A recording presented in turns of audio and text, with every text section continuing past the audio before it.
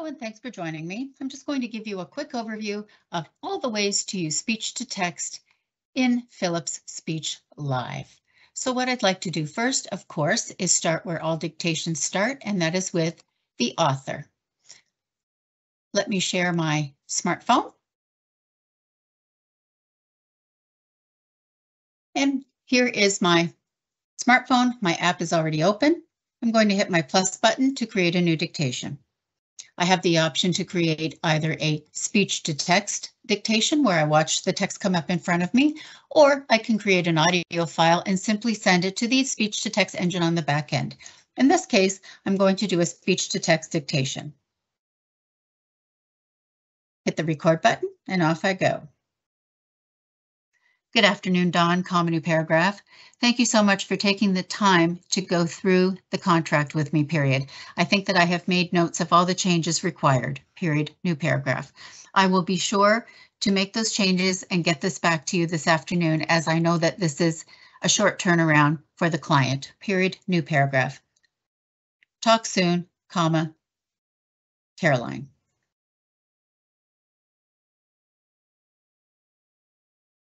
I now have the option to copy and paste this somewhere else on my smartphone. But really what I want to do is I want to send it to my assistant so that they can format it, make any changes required and send it out. So I'm going to hit my check mark and I'm going to say finish. This will go to my assistant and show up in the work list as correction pending. I'm now going to create a second dictation where I will send it to the speech to text engine on the back end.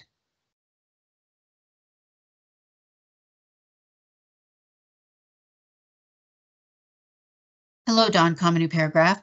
As per our discussion this morning, I have made all the changes required, period, new paragraph. Please let me know if there is anything I have missed. Period, new paragraph. By the way, comma, I will be in your area on Friday and was hoping we could grab lunch. Period, new paragraph. Let me know if you will be available. Period, new paragraph. Cheers, comma, Caroline. Now, when I hit my check mark, I'm going to say send this to speech to text on the back end. Choose my language and off it goes.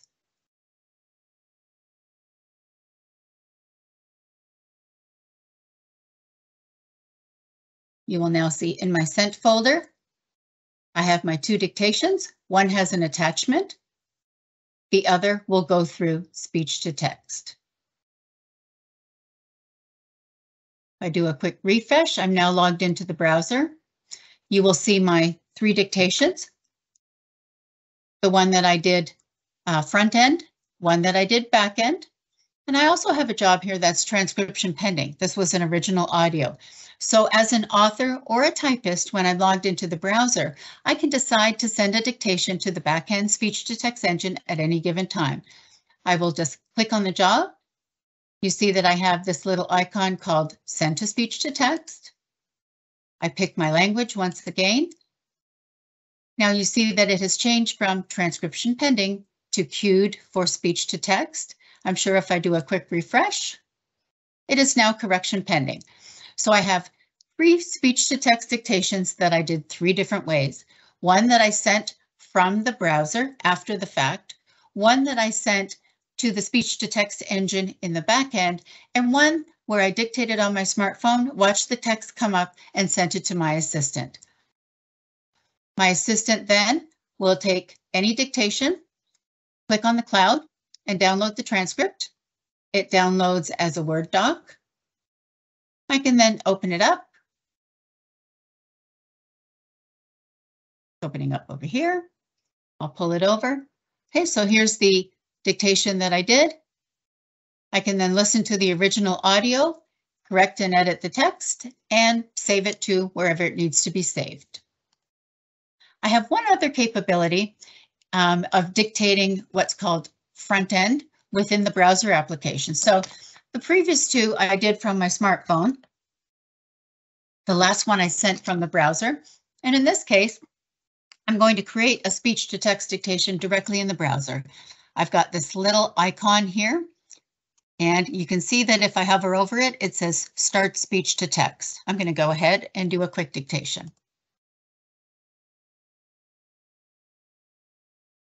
Hey, Bob, new paragraph. Just wanted to let you know I had a meeting with Dawn this morning and we went over all the changes that were required for the contract period. I did send it out to Dawn this afternoon and have not heard any feedback, so I assume everything is as expected, period, new paragraph. I will keep you posted if there are any further changes. Period, new paragraph, regards, comma, new line, Caroline. Now, of course, you can see that speech to text is not always completely correct. So I do have the ability to make any small changes I would like.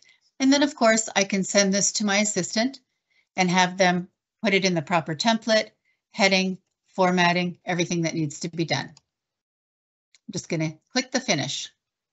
Okay, I now have four speech to text dictations done four different ways. And there's one more way to use the speech to text capability. We also have what's called our desktop app, which allows you to create a dictation anywhere that you can put your cursor on your desktop. You can download that from our SpeechLive website. And basically, this will sit on your desktop. I can control it with the plus on my keyboard. Hello, Don, common new paragraph. I didn't hear back from you, but I assume that there were no further changes required to the contract, period, new paragraph. I did mention that I was available for lunch on Friday, period. Will you be around? Question mark. New paragraph. Look forward to seeing you then, period. So anywhere that I can put my cursor, I can now dictate and send my email, my create a Word document, Excel, my CRM, my case management, anywhere that I would like to put my cursor and dictate. So that concludes all of the ways that you can use the speech to text feature within SpeechLive.